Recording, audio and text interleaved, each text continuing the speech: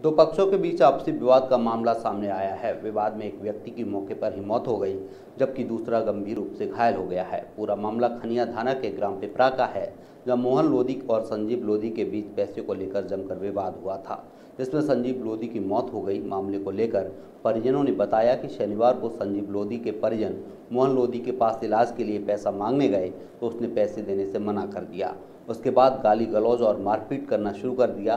तभी मारपीट के दौरान पैसे मांगने गए, संजीव लोधी की मौत हो गई और एक अन्य गंभीर रूप से घायल हो गया, जिसे इलाज के लिए शिवपुरी जिला चिकित्सालय रेफर किया गया है। धक्का मार दिया सुबह से पलटी आई खून की। बस खत्म हो गया। भैया और ये भैया को वो ना सिर में छड़ मार दी हम्म। वो कहाँ है? एक वो सीपरी है एक्सीडेंट सीपी हाँ। रेफर कर दिया हाँ। आपने तो पीएम हो गया है?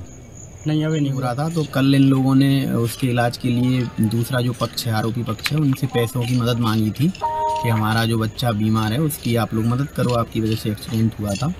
तो उन्होंने मना कर दिया मदद करने से। तो इसी बात पर से विवाद हुआ है और जो आरोपी पक्ष है, उन्होंने मारपीट की है तो जिसमें एक लड़के की स्पॉट पर डेथ हो गई है, संजीव लोधी की, और एक घायल है जिसका अभी उपचार